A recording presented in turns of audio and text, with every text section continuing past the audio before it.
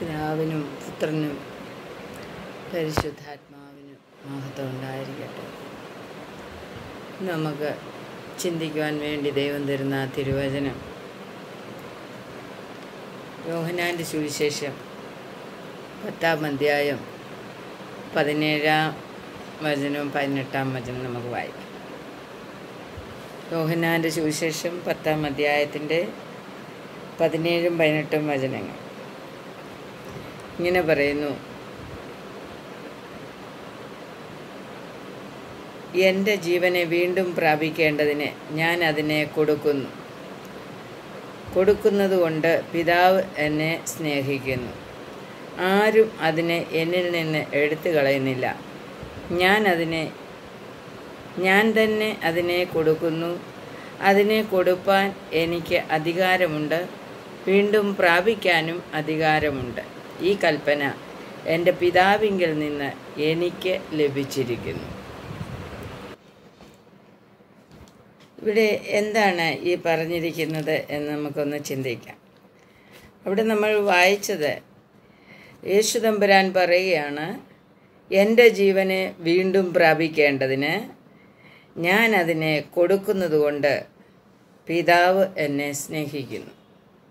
അപ്പോൾ യേശു തമ്പുരാന്റെ ജീവൻ യേശു കൊടുക്കുന്നത് വീണ്ടും പ്രാപിക്കേണ്ടതിനാണെന്ന് മുന്നമേ യേശു അറിഞ്ഞിരുന്നു എന്ന് നമുക്ക് അവിടെ നിന്ന് മനസ്സിലാക്കാൻ കഴിയും.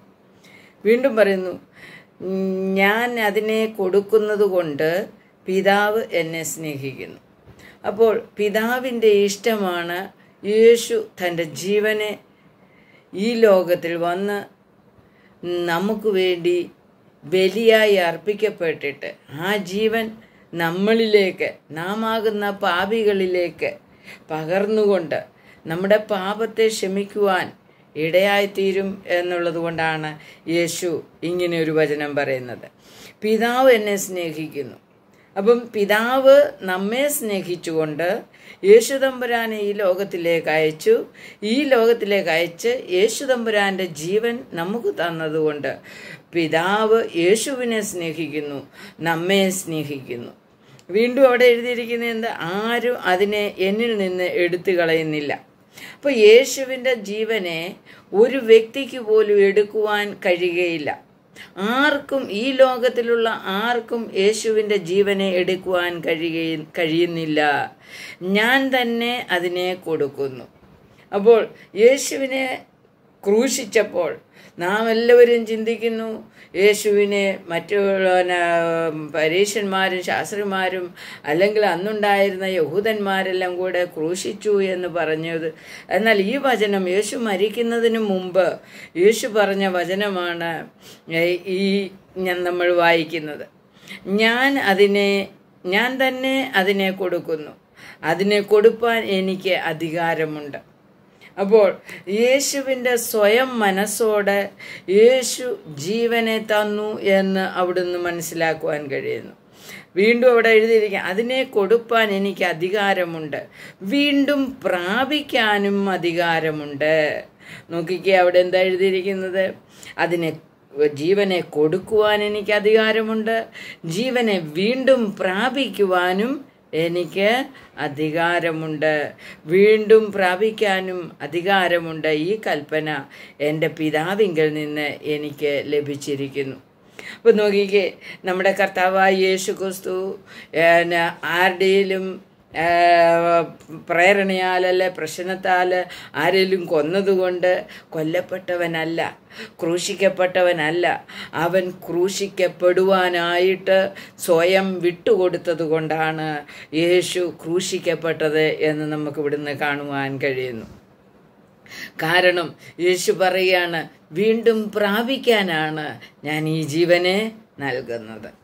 കാരണം യേശു സ്വയം ദൈവമായിരുന്നുവെങ്കിൽ ദൈവത്തിന് ജീവൻ കൊടുപ്പാനും ജീവൻ കളയുവാനും ജീവൻ മറ്റൊരുത്തന് കൊടുക്കുവാനും ജീവൻ സ്വയം പ്രാപിപ്പാനും സ്വയം ജീവൻ ഇല്ലാതാക്കുവാനും എല്ലാത്തിനും അധികാരമുണ്ട് എന്ന് അവിടുന്ന് നമുക്ക് മനസ്സിലാക്കുവാൻ കഴിയുന്നു. യോഹനാന്റെ സുവിശേഷം പത്തിന്റെ പത്തിൽ നാം വായിച്ചാൽ പത്തിന്റെ പത്തിൽ പറയുന്നു മോഷ്ടിപ്പാനും അറുപ്പാനും മുടിപ്പാനുമല്ലാതെ കള്ളൻ വരുന്നില്ല. അവർക്ക് ജീവൻ ഉണ്ടാകുവാനും സമൃദ്ധിയായിട്ടുണ്ടാകുവാനും അത്രേ ഞാൻ വന്നിരിക്കുന്നത്. അപ്പൊ നോക്കിക്കേ കള്ളൻ വരുന്നത് അല്ലെങ്കിൽ പിശാജ് എന്ന കള്ളൻ വരുന്നത് അതിന്റെ മുകളിലായിട്ട് എഴുതിയിട്ടുണ്ട് പിശാജിനെ കുറിച്ച് കള്ളനാണവൻ. ആ കള്ളൻ വരുന്നത് മോഷ്ടിപ്പാനും മുടിപ്പാനുമാണ് എന്നവിടെ എഴുതിയിരിക്കുന്നു. അപ്പോൾ കർത്താവായ യേശു ക്രിസ്തു എന്തിനു വേണ്ടി വന്നു?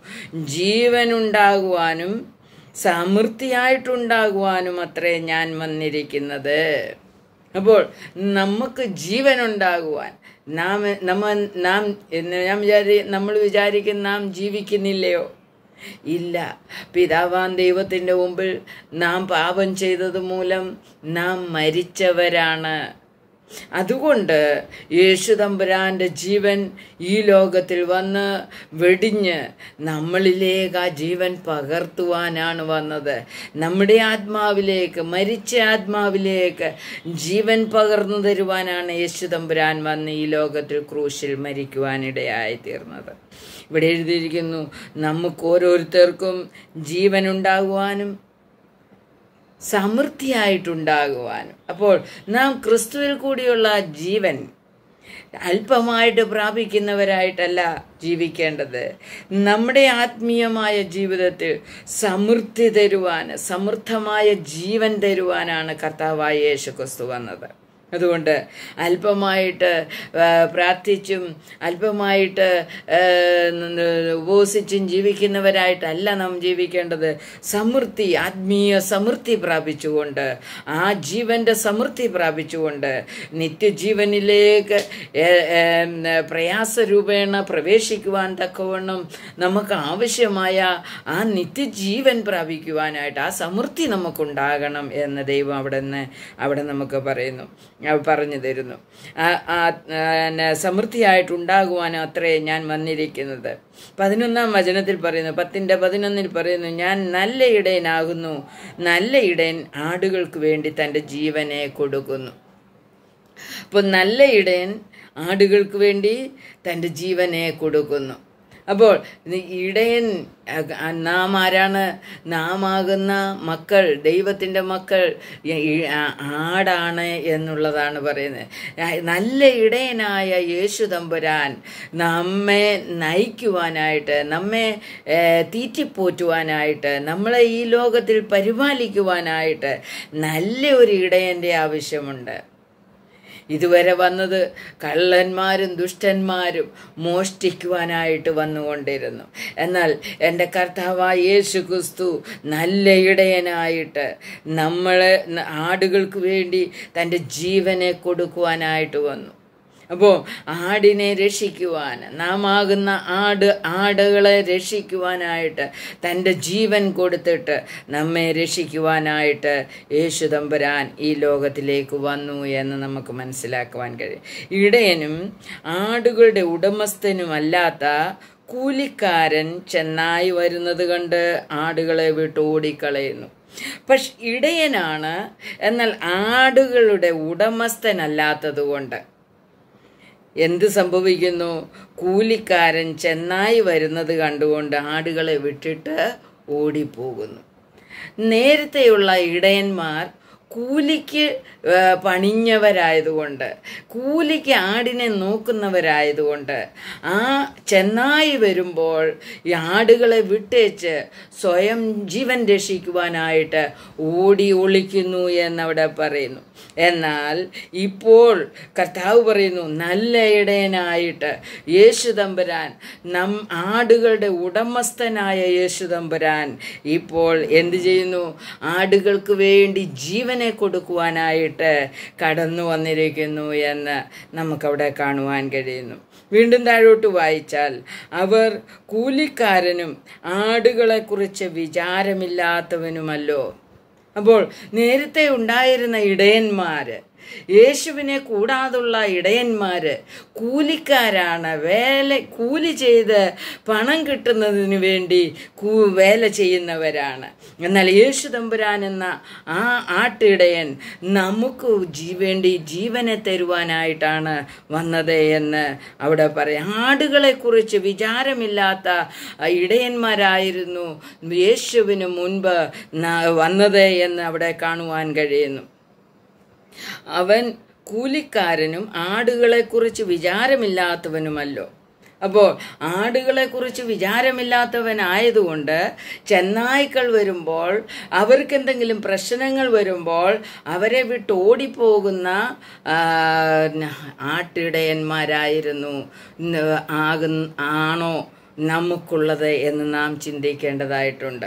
യേശു തമ്പുരാന് നല്ല ഇടയനായിട്ട് നമുക്ക് വേണ്ടി ജീവൻ തരുവാനായിട്ട് കടന്നു വന്നപ്പോൾ ആ യേശുവിനെ എന്റെ നല്ല എന്റെ ഇടയനായിട്ട് സ്വീകരിക്കുവാൻ ഞാനാകുന്ന ആടിന് കഴിഞ്ഞിട്ടുണ്ടോ എന്ന് ദൈവം നമ്മളോട് ഇന്ന് ചോദിക്കുകയാണ്.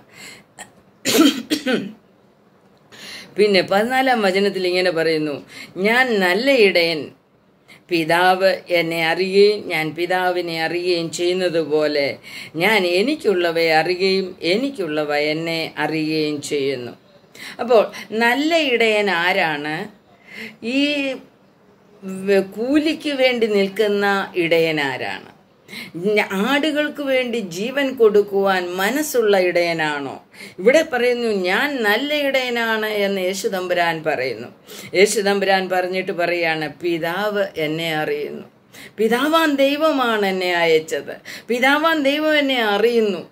അതുകൊണ്ട് പിന്നെ ഞാൻ പിതാവിനെ അറിയ അറിയുകയും ചെയ്യുന്നത് പോലെ അപ്പോൾ യേശു തമ്പുരാൻ പിതാവിനെ അറിയുന്നു. പിതാവ് യേശുവിനെ അറിയുന്നു. നല്ലിടയനായിട്ട് നാം ആകുന്ന നാടുകളുടെ ഇടയിലേക്ക് നമ്മെ കടിച്ചു കീറുന്ന ചെന്നായിക്കട മുൻപിൽ ഇട്ടുകളഞ്ഞ ആ ഇടയന്മാർ ഓടിപ്പോയ സ്ഥാനത്തേക്ക് നമ്മെ രക്ഷിക്കുവാനായിട്ട് യേശു തമ്പുരാൻ ഇറങ്ങി വന്നിരിക്കുകയാണ്. അപ്പോൾ അവിടെ നോക്കിക്കേ അവിടെ വീണ്ടും പറയുന്നു ഞാൻ എനിക്കുള്ളവയെ അറിയുകയും എനിക്കുള്ളവ എന്നെ അറിയുകയും ചെയ്യുന്നു. യേശു തമ്പുരാൻ പറയാണ് പിതാവാൻ ദൈവം കൊടുത്ത ആടുകളെ യേശുവിനുള്ളതാണ് യേശുവിനുള്ളതിനെ യേശു അറിയുന്നു. യേശു അറിയുക മാത്രമല്ല അതിനുവേണ്ടി ജീവൻ കൊടുക്കുകയും ചെയ്യുന്നു. ചെന്നായ്ക്കളുടെ വായിലേക്ക് തന്റെ ആടുകളെ വിട്ടുകൊടുക്കുവാൻ ഒരിക്കലും അവൻ വിട്ടുകളയുന്നില്ല എന്നുള്ളതാണ് നമ്മൾ അവിടുന്ന് മനസ്സിലാക്കേണ്ടത്. ചെന്നായ്ക്കളുടെ വായിൽ വിട്ടുകൊടുക്കാതെ യേശു തമ്പുരാനാകുന്ന നല്ല ഇടയൻ നമ്മളെ രക്ഷിക്കുന്ന ഇടയനാണ് എന്ന ഇടയനാണ് എന്നവിടുന്ന് നമുക്ക് മനസ്സിലാക്കുവാൻ കഴിയുന്നു. ആരെയാണ് യേശു തമ്പുരാൻ രക്ഷിക്കുന്നത്? ഞാൻ എനിക്കുള്ളവയെ അറിയുകയും എനിക്കുള്ളവ എന്നെ അറിയുകയും ചെയ്യുന്നു. അപ്പോൾ നല്ല ഇടയനെ തിരിച്ചറിയുവാനുള്ള കൃപ നാം പ്രാപിച്ചെടുക്കണം. നല്ല ഇടയനായിട്ട് നമുക്ക് വേണ്ടി ജീവൻ തരുവാനായിട്ട് ചെന്നായ്ക്കളുടെ ഇടയിൽ നമ്മെ വിട്ടുകളഞ്ഞിട്ട് ഓടിപ്പോകുന്ന കൂലിക്കാരായ ഇടയന്മാരെ പോലെ അല്ല എന്റെ യേശുതമ്പുരാനെന്ന് മനസ്സിലാക്കിയിട്ട് ആ യേശുതമ്പുരാനിലേക്ക് അടുത്തു വരുവാൻ നമുക്ക് ഓരോരുത്തർക്കും ഇടയായി തീരണം ഇതാണ് യേശു തമ്പുരാൻ നമ്മളിൽ നിന്ന് ആഗ്രഹിക്കുന്നത്. യേശുവിനെ അറിയുന്നവരായി തീരണം. യേശുവിനെ അറിഞ്ഞ് യേശുവിന്റെ പിന്നാലെ നടക്കുന്നവരായിരിക്കണം. ഇടയന്റെ പിന്നാലെ നടക്കുന്നവരായിരിക്കണം. എന്റെ ഇടയൻ നല്ലിടയനാണ്. ചെന്നായിയുടെ വായിൽ നിന്ന് എന്നെ വിടുവിക്കുന്നവനാണെന്ന് മനസ്സിലാക്കിയിട്ട് ആ ആടുകൾ തന്റെ ഇടയന്റെ പിന്നാലെ നടക്കുന്നതായി മാറണമെന്ന് യേശു തമ്പുരാൻ ഇവിടെ നമ്മെ അറിയിച്ചു തരികയാണ്. വീണ്ടും അതിന്റെ പതിനാറാമത്തെ വചനത്തിൽ പറയുന്നു ആടുകൾക്ക് വേണ്ടി ഞാൻ എന്റെ ജീവനെ കൊടുക്കുന്നു. ആടുകൾക്ക് വേണ്ടി ഞാൻ എന്റെ ജീവനെ കൊടുക്കുന്നു. അപ്പോൾ ജീവനെ കൊടുക്കുന്ന ആടുകൾക്ക് വേണ്ടി നമുക്ക് വേണ്ടി നാം ആകുന്ന ആടുകൾക്ക് വേണ്ടി ജീവനെ തരുന്ന ഒരു നല്ല ഇടയനാണ് യേശുദമ്പുരാൻ എന്ന് നമ്മൾ മനസ്സിലാക്കണം. ആ യേശുദമ്പുരാനെ നാം എത്രത്തോളം അടുത്ത് ചെന്നിട്ടുണ്ട്. അവന്റെ പിന്നാലെ നാം എത്രത്തോളം അനുഗമിക്കുന്നുണ്ട്. അവന്റെ വചനമനുസരിച്ച് അവന്റെ ലീഡിങ് അനുസരിച്ച് ആണോ നാം നടക്കുന്നത് എന്ന് നമ്മെ തന്നെ ശോധന ചെയ്തിട്ട് നമുക്ക് ആ നല്ലിടയനെ കൂലിക്കാരായ ഇടയന്മാരെ അല്ല നാം അനുഗമിക്കേണ്ടത്. കൂലിക്കാർ ചെന്നായി വരുമ്പോൾ വിട്ടുകളഞ്ഞിട്ട് ചെന്നായിയുടെ വായിലേക്ക് നമ്മെ വിട്ടുകളഞ്ഞിട്ട് ഓടിക്കളയുന്ന ഇടയന്മാരാണ് എന്ന് മനസ്സിലാക്കിക്കൊണ്ട് ഈ നല്ല ഇടയനെ പിന്തുടരുവാൻ നാം മനസ്സ് വെച്ചിട്ടുണ്ടോ? ഇല്ല എങ്കിൽ ഇന്നു മുതൽ നമുക്ക് ആ നല്ല ഇടയിനു വേണ്ടി നമുക്ക് മനസ്സ് വയ്ക്കാം വീണ്ടും നമുക്ക് യോഹനാന്റെ സുവിശേഷം എട്ടാം അധ്യായത്തിന്റെ അൻപത്തെട്ടാം വചനം നമുക്ക് വായിക്കാം. എട്ടാം അധ്യായത്തിന്റെ അൻപത്തിയെട്ടിൽ ഇങ്ങനെ പറയുന്നു യേശു അവരോട് ആമേൻ ഞാൻ നിങ്ങളോട് പറയുന്നു അബ്രഹാം ജനിച്ചതിന് മുമ്പേ ഞാനുണ്ട് എന്ന് പറഞ്ഞു. അപ്പോൾ അവൻ അവനെ എറിവ അവർ അവനെ എറിവാൻ കല്ലെടുത്തു. യേശുവോ മറഞ്ഞ് ദേവാലയം വിട്ടുപോയി. നോക്കിക്കേ യേശു അവിടെ പിന്നെ പരീക്ഷന്മാരോടും അവനെ നെഗ്ലക്റ്റ് ചെയ്യുന്ന മക്ക മനുഷ്യരോട് പറയുകയാണ് അബ്രഹാം ജനിക്കുന്നതിന് മുമ്പ് ഞാൻ ഉണ്ട് എന്ന്. അപ്പോൾ അബ്രഹാമിനെ മാത്രം പിതാവായി അംഗീകരിച്ചുകൊണ്ട് അവർക്ക് അബ്രഹാം ഉണ്ട് എന്ന് പറഞ്ഞ് ജീവിക്കുന്ന ഒരു കൂട്ടം ജനങ്ങളോട് യേശുതമ്പുരാൻ പറയുകയാണ് ഞാൻ അബ്രഹാമിന് മുൻപേ ഉണ്ട് എന്ന് പറയുന്നു. അപ്പോൾ നമ്മുടെ യേശു ആരാണെന്നാണ് നാം ചിന്തിക്കുന്നത്? നാം നല്ല ഇടയനായി വന്ന യേശു തമ്പുരാൻ ആരാണ്? എന്നു മുതൽ നമ്മെ സ്നേഹിക്കുന്ന ദൈവമാണ് എന്നുള്ളതാണ് നമ്മൾ ഇവിടെ മനസ്സിലാക്കേണ്ടത്. യേശു തമ്പുരാൻ ലോകത്തിൽ വന്നപ്പോൾ അബ്രഹാം പിതാവായി ഞങ്ങൾക്കുണ്ട് എന്ന് പറഞ്ഞുകൊണ്ട് അബ്രഹാമിനെ മാത്രം ആദരിക്കുന്ന ബഹുമാനിക്കുന്ന ജനങ്ങളുടെ മധ്യത്തിലേക്ക് യേശു തമ്പുരാൻ കടന്നു നിന്നിട്ട് പറയുകയാണ് അബ്രഹാമിന് മുമ്പ് ഞാൻ ജനി ഉണ്ട് എന്ന്. അബ്രഹാം ജനിച്ചതിന് മുമ്പേ ഞാൻ ഉണ്ട് എന്ന് പറഞ്ഞു. അപ്പോൾ നോക്കിക്കേ നമ്മുടെ കർത്താവായ യേശു ക്രിസ്തു നല്ല ഇടയനായിട്ട് അബ്രഹാമിന് മുൻപ് തൊട്ടുള്ള ജനങ്ങളെ നല്ല കാത്തു സൂക്ഷിക്കുന്ന നമ്മുടെ ദൈവമായിരുന്നു എന്ന് നാം മറന്നുപോലെ അതിന്റെ എട്ടിന്റെ നാൽപ്പത്തിരണ്ടാം വചനം കൂടി നമുക്ക് വായിക്കാം. യേശു അവരോട് പറഞ്ഞത് ദൈവം നിങ്ങളുടെ പിതാവെയെങ്കിൽ നിങ്ങൾ എന്നെ സ്നേഹിക്കുമായിരുന്നു. പിതാവാൻ ദൈവത്തെ പിതാവേ എന്ന് വിളിച്ചുകൊണ്ട് അംഗീകരിക്കുന്നവരാണ് അന്നുള്ള യഹൂദന്മാർ. ഞാൻ ദൈവത്തിന്റെ അടുക്കൽ നിന്ന് വന്നിരിക്കുന്നു. ഞാൻ സ്വയമായി വന്നതല്ല അവൻ എന്നെ അയച്ചതാകുന്നു. എന്റെ ഭാഷണം നിങ്ങൾ ഗ്രഹിക്കാത്തതെന്ത്?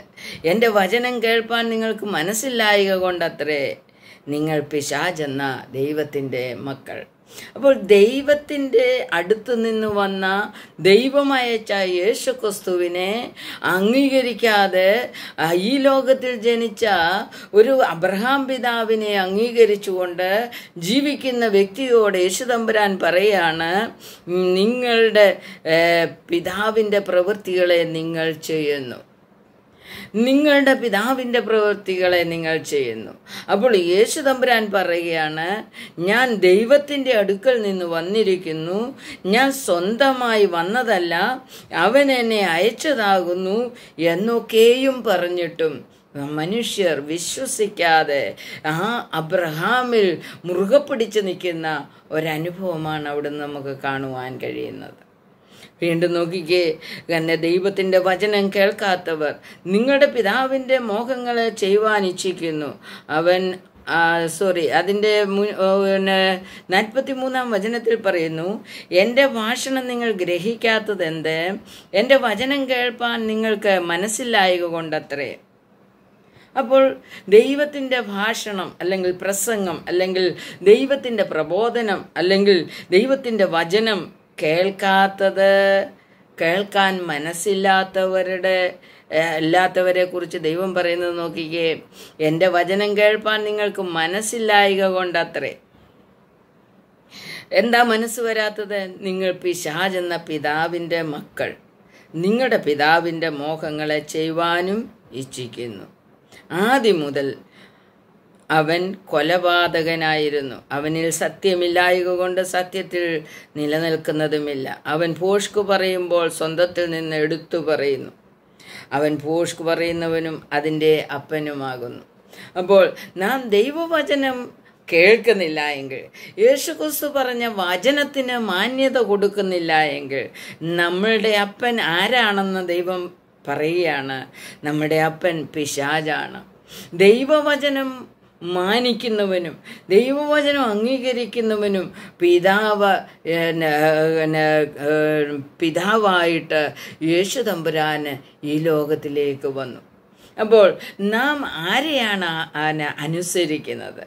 ദൈവത്തെയാണോ അതോ പിശാചെന്ന പിതാവിനെയാണോ എന്നുള്ളതാണ് നാം ഇന്ന് നമ്മളെക്കുറിച്ച് തിരിച്ചറിയേണ്ടത്. നാം ദൈവവചനത്തിന് മാന്യത കൊടുക്കുകയും ദൈവവചനം അംഗീകരിക്കുകയും ദൈവവചനപ്രകാരം ജീവിക്കുകയും പിതാവ് അയച്ചിട്ട് എന്നെ പാപത്തിൽ നിന്ന് വിടുവിക്കുവാൻ യേശു തമ്പുരാൻ ഈ ലോകത്തിൽ വന്നു എന്ന് നാം വിശ്വസിക്കുകയും ചെയ്യുന്നുണ്ടെങ്കിൽ നമ്മുടെ പിതാവ് സ്വർഗസ്ഥനായ പിതാവാണ്.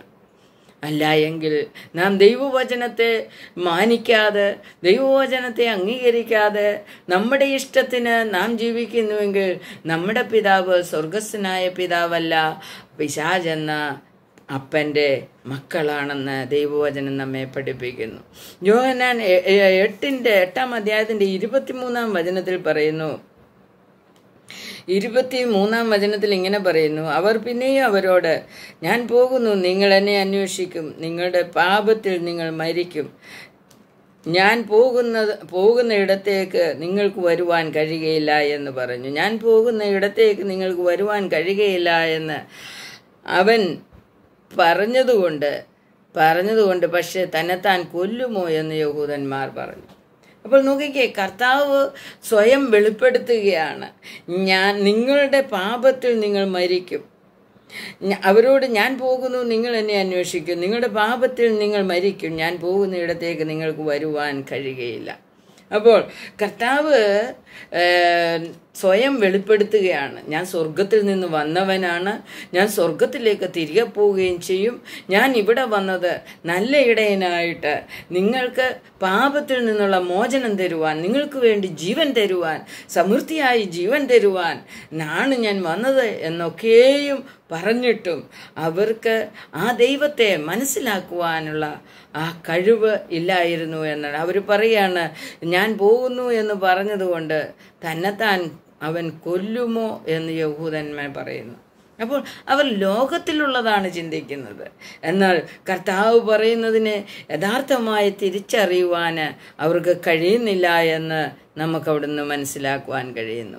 അവിടെ വീണ്ടും ഇരുപത്തിമൂന്നിൽ പറയുന്നു അവൻ അവരോട് നിങ്ങൾ കീഴിൽ നിന്നുള്ളവർ ഞാൻ മേലിൽ നിന്നുള്ളവൻ. നിങ്ങൾ ഈ ലോകത്തിൽ നിന്നുള്ളവർ ഞാൻ ഈ ലോകത്തിൽ നിന്നുള്ളവനല്ല. ആകയാൽ നിങ്ങളുടെ പാപങ്ങളിൽ നിങ്ങൾ മരിക്കും എന്ന് ഞാൻ നിങ്ങളോട് പറഞ്ഞു. ഞാൻ അങ്ങനെയുള്ളവൻ എന്ന് വിശ്വസിക്കാഞ്ഞാൽ നിങ്ങൾ നിങ്ങളുടെ പാപങ്ങളിൽ മരിക്കും. അപ്പോൾ യേശുക്രിസ്തുവിൽ യഥാർത്ഥമായ ഉൻ അവന്റെ വചനമനുസരിച്ച് നാം വിശ്വസിക്കുന്നില്ല എങ്കിൽ നമ്മൾ മരിക്കും. ആ മരണം എന്ന് പറഞ്ഞാൽ നമ്മുടെ നിത്യമരണത്തെക്കുറിച്ചാണ് പറയുന്നത്. കർത്താവായ യേശു ക്രിസ്തു വന്നത് നമുക്ക് നിത്യ മരണത്തിൽ നിന്ന് മോചനം തരുവാൻ അല്ലെ നിത്യ നരകത്തിൽ നിന്ന് മോചനം തരുവാനാണ് കർത്താവായ യേശു ക്രിസ്തു വന്നത്. യേശു ക്രിസ്തു വന്ന ആ ഉദ്ദേശം നമ്മളിൽ പൂർത്തീകരിക്കപ്പെടണമെങ്കിൽ നാം ആ യേശുവിനെ യഥാർത്ഥമായി സ്വീകരിക്കുകയും അവന്റെ വചനത്തിൽ നിലനിൽക്കുകയും ചെയ്തില്ല എങ്കിൽ നമ്മൾ മരിക്കും എന്നാണ് ദൈവത്തിന്റെ വചനം പറയുന്നത്.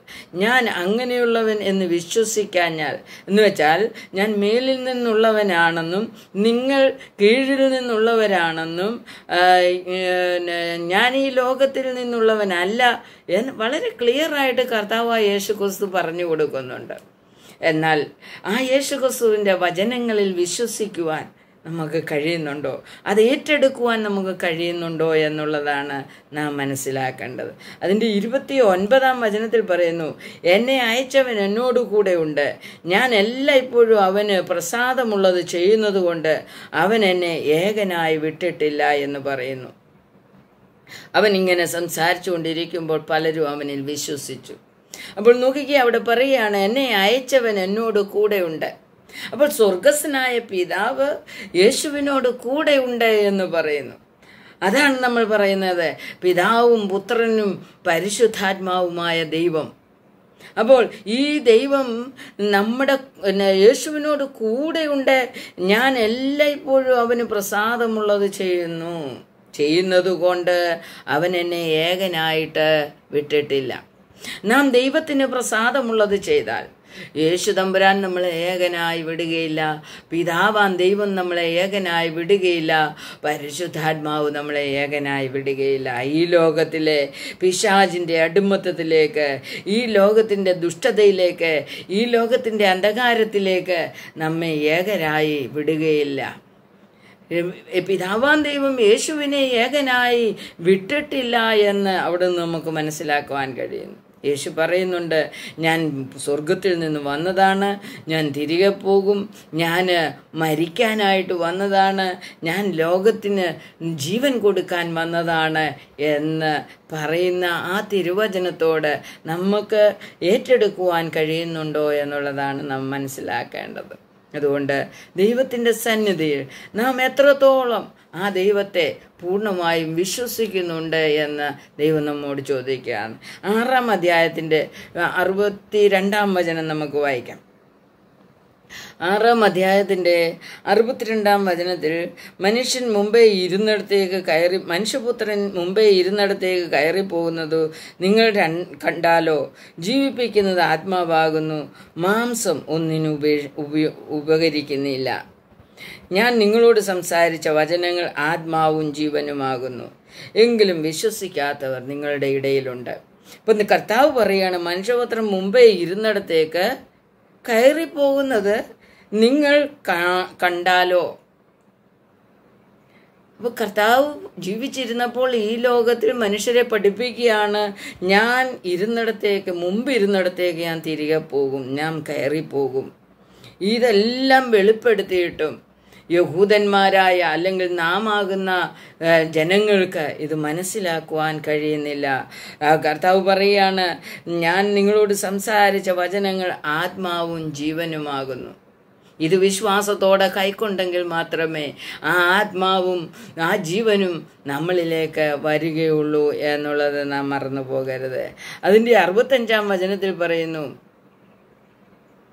വിശ്വസിക്കാത്തവൻ ഇന്നവരെന്നും എന്നെ കാണിച്ചു കൊടുക്കുന്നവൻ ഇന്നവനെന്നും യേശു ആദ്യം മുതൽ അറിഞ്ഞിരുന്നു. ഇത് ഹേതുവായിട്ടത്രേ ഞാൻ നിങ്ങളോട് പിതാവ് കൃപ നൽകിയിട്ടല്ലാതെ ആർക്കും എന്റെ അടുക്കൽ വരുവാൻ കഴിയയില്ല എന്ന് പറയുന്നത്. അപ്പോൾ പിതാവ് കൃപ നൽകിയിട്ട് വേണം നമുക്ക് യേശുവിന്റെ അടുത്തേക്ക് ചെല്ലുവാൻ. യേശുവിന്റെ അടുത്തേക്ക് ചെല്ലുവാൻ നാം ആഗ്രഹിക്കുന്നെങ്കിൽ പിതാവ് കൃപ നൽകണം. അതിനുവേണ്ടി നാം ആ പിതാവിന്റെ വചനത്തിൽ നാം മുഴുകി ജീവിക്കുകയും വിശ്വസിക്കുകയും ആ പിതാവ് തന്നിരിക്കുന്ന വചനം യേശുക്രിസ്തുവിൽ കൂടി തന്ന വചനങ്ങളെല്ലാം ഏറ്റെടുക്കുകയും ചെയ്യണം എന്ന് ദൈവം നമ്മെ പഠിപ്പിക്കുകയാണ്. മൂന്നാം അധ്യായത്തിന്റെ യോഹനാന്റെ സുവിശേഷം മൂന്നാം അധ്യായത്തിന്റെ പിന്നെ പന്ത്രണ്ടാം വചനം നമുക്ക് വായിക്കാം. അവിടെ എഴുതിയിരിക്കുകയാണ് നിങ്ങൾ ഭൂമിയിലുള്ളത് നിങ്ങളോട് പറഞ്ഞിട്ട് നിങ്ങൾ വിശ്വസിക്കുന്നില്ലെങ്കിൽ സ്വർഗത്തിലുള്ളത് നിങ്ങളോട് പറഞ്ഞാൽ എങ്ങനെ വിശ്വസിക്കും? സ്വർഗത്തിൽ നിന്ന് ഇറങ്ങി വന്നവനും സ്വർഗത്തിലിരിക്കുന്നവനുമായ മനുഷ്യപുത്രനല്ലാതെ ആരും സ്വർഗത്തിൽ കയറിയിട്ടില്ല. നോക്കിക്കേ ഇവിടെ പറയുകയാണ് കർത്താവ് മാത്രമേ സ്വർഗത്തിൽ പോയിട്ടുള്ളൂ. കർത്താവല്ലാതെ മറ്റൊരു വ്യക്തികളും മരിച്ചവരാരും സ്വർഗത്തിൽ പോയിട്ടില്ല. ദൈവവചനം പറയുകയാണ് അതുകൊണ്ട് നാം നിങ്ങളോട് പറഞ്ഞിട്ട് നിങ്ങൾ വിശ്വസിക്കുന്നില്ലെങ്കിൽ ഈ ഭൂമിയിലുള്ളത് വിശ്വസിക്കുന്നില്ലെങ്കിൽ സ്വർഗത്തിലുള്ളത് നിങ്ങളോട് പറഞ്ഞാൽ എങ്ങനെ വിശ്വസിക്കും? സ്വർഗത്തിൽ നിന്ന് ഇറങ്ങി വന്നവനും സ്വർഗത്തിൽ ഇരിക്കുന്നവനുമായ മനുഷ്യപുത്രനല്ലാതെ ആരും സ്വർഗത്തിൽ കയറിയിട്ടില്ല. അപ്പോൾ സ്വർഗത്തിൽ ഒരു വ്യക്തി മാത്രമേ മനുഷ്യനായി ജനിച്ചവരിൽ ഒരു വ്യക്തി മാത്രമേ സ്വർഗത്തിലേക്ക് തിരികെ പോയിട്ടുള്ളൂ. അത് നമ്മുടെ കർത്താവായ യേശു ക്രിസ്തു മാത്രമാണ് എന്ന് നാം അവിടെ നിന്ന് മനസ്സിലാക്കുവാൻ കഴിയുന്നു. അതുകൊണ്ട് നമ്മുടെ കർത്താവിനെ നാം ആ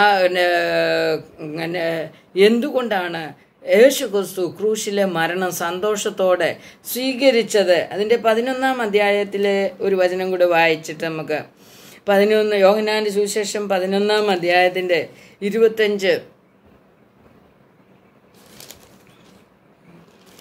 പതിനൊന്നാം അധ്യായത്തിന്റെ ഇരുപത്തഞ്ചിൽ ഇങ്ങനെ പറയുന്നു യേശു അവളോട് ഞാൻ തന്നെ പുനരുദ്ധാനവും ജീവനുമാകുന്നു. എന്നിൽ വിശ്വസിക്കുന്നവൻ മരിച്ചാലും ജീവിക്കും. ജീവിച്ചിരുന്ന് എന്നിൽ വിശ്വസിക്കുന്നവൻ ഒരു നാളും മരിക്കേയില്ല. ഇപ്പം നോക്കിയേ കർത്താവിൽ വിശ്വസിക്കുന്നവന് മാത്രമേ പുനരുത്ഥാനം ലഭിക്കുകയുള്ളൂ. മര നിത്യമരണത്തിൽ നിന്നുള്ള മോചനം ലഭിക്കുകയുള്ളൂ എന്ന് ദൈവം അവിടെ വെളിപ്പെടുത്തി തരികയാണ്. അപ്പോൾ ഞാൻ തന്നെ പുനരുത്ഥാനവും ജീവനുമാകുന്നു എന്ന് എന്നിൽ വിശ്വസിക്കുന്നവൻ മരിച്ചാലും ജീവിക്കും. ജീവിച്ചിരുന്ന എന്നിൽ വിശ്വസിക്കുന്നവൻ ആരും ഒരു നാളും മരിക്കുകയില്ല അപ്പോൾ നമുക്ക് ദൈവത്തിന്റെ സന്നിധിയിൽ നമുക്ക് ജീവിച്ചിരുന്ന് എന്ന് വെച്ചാൽ കർത്താവായ യേശു ക്രിസ്തുവിന്റെ ജീവൻ പ്രാപിച്ച് ജീവിച്ച് നമുക്ക് ക്രിസ്തുവിനോട് ചേരുവാൻ വേണ്ടി നമുക്ക് പൂർണമായിട്ടും സമർപ്പിച്ചു കൊടുക്കാം. ഇവിടെ നിന്ന് കർത്താവ് നമ്മെ മനസ്സിലാക്കുന്നത് കാരണം യേശു ക്രിസ്തു ക്രൂശിലെ മരണം സന്തോഷത്തോടെ സ്വീകരിക്കുവാൻ കാരണം എന്തായിരുന്നു? ഒന്നാമത് നാം ആകുന്ന മനുഷ്യരെ പാപത്തിൽ നിന്ന് രക്ഷിക്കുന്നതിനുള്ള സന്തോഷം. രണ്ടാമത് പാപത്തിന്റെ ശമ്പളമായ മരണം അല്ലെങ്കിൽ നിത്യനരകത്തിൽ നിന്ന് നമ്മെ വിടുവിച്ച വിടുവിക്കുന്നതിന്റെ സന്തോഷത്തിലാണ് കർത്താവ് ക്രൂശ് ഏറ്റെടുക്കുവാനിടയായി തീർന്നത്. മൂന്നാമത് യേശുവിന് മരിച്ചാലും മരിച്ചാലും നഷ്ടപ്പെടുന്ന ജീവൻ വീണ്ടും പ്രാപിക്കാൻ കഴിയും എന്നുള്ള ആ അധികാരമുള്ളത് കൊണ്ടാണ് യേശു ക്രൂശിലെ മരണം സന്തോഷത്തോടെ സ്വീകരിക്കുവാൻ ഇടയായി തീർന്നത്. എന്നെ നാലാമതായിട്ട് അനേകം മനുഷ്യരെ ജീവനുള്ള ദൈവത്തിന്റെ മക്കളായി നേടുന്നത് മൂലം കർത്താവായ യേശു കൊസു സന്തോഷത്തോടെ ആ ക്രൂശിലെ മരണം ഏറ്റെടുത്തു സ്വീകരിച്ചു എന്നുള്ളത് നമുക്ക് മനസ്സിലാക്കുവാൻ കഴിയും. അതുകൊണ്ട് റോമാലേഖനം ഒമ്പതാം അധ്യായത്തിന്റെ ഇരുപത്തഞ്ചിൽ ആ ഇരുപത്തഞ്ച് ഇരുപത്തി ആറ് വായിച്ചാൽ അനേകം മനുഷ്യരെ ജീവനുള്ള ദൈവത്തിന്റെ മക്കളായി നേടുന്നത് മൂലം കർത്താവിന് സന്തോഷമുണ്ടായി എന്ന് നമുക്കവിടെ കാണുവാൻ കഴിയും. അതുകൊണ്ട് ദൈവസന്നിധി നമുക്ക് സമർപ്പിക്കാം. കർത്താവെ യേശു ക്രൂശിലെ മരണം സന്തോഷത്തോടെ സ്വീകരിച്ചതിന്റെ കാരണം എന്റെ ദൈവം ഞങ്ങളെ വെളിപ്പെടുത്തി തന്നതിനായി സ്തോത്രം കർത്താവെ. ഈ മരണത്തിന് മരണം ഞങ്ങൾക്ക് ജീവൻ തരുന്നതിന് വേണ്ടി ആയിരുന്നു എന്ന് ഞങ്ങളെ പഠിപ്പിച്ചതിനായി സ്തോത്രം. നല്ല ഇടയനായ കർത്താവ് ഞങ്ങളെ മരണത്തിൽ നിന്ന് രക്ഷിക്കുവാനായിട്ട് കടന്നു വന്ന് ഞങ്ങളെ രക്ഷിച്ചതിനായിട്ട് നന്ദിയോടെ സ്തോത്രം ചെയ്യുന്നു. ഈ വചന വചനം കേൾക്കുന്ന എല്ലാ മക്കളെയും കർത്താവായ യേശുവെ നിത്യമരണത്തിൽ നിന്ന് രക്ഷിച്ച് നിത്യസ്വർഗത്തിൽ ആ സമൃദ്ധിയായ ജീവൻ പ്രാപിച്ച് നിത്യസ്വർഗത്തിൽ എത്തുവാൻ ദൈവം സഹായിക്കണമെന്ന് യേശുവിന്റെ നാമത്തിൽ പ്രാർത്ഥിക്കുന്നു. പിതാവേ കൃപ തോന്നി കേട്ട് പ്രാർത്ഥന കേട്ട് ഉത്തരമരുമാറാകണമേ. ആമീൻ. ദൈവം എല്ലാവരെയും അനുഗ്രഹിക്കട്ടെ. ഈ പിന്നെ വീഡിയോ സബ്സ്ക്രൈബ് ചെയ്യുവാൻ മാത്രം മറക്കരുത്. ഞാൻ എല്ലാവർക്കും ഈ പിന്നെ പ്രഭാഷണം അയച്ചു കൊടുക്കണമെന്ന് ദൈവ ദൈവനാമത്തിൽ ഞാൻ ആഗ്രഹിക്കുന്നു അപേക്ഷിക്കുന്നു. ദൈവം എല്ലാവരെയും അനുഗ്രഹിക്കുമാറാകട്ടെ. ആമീൻ.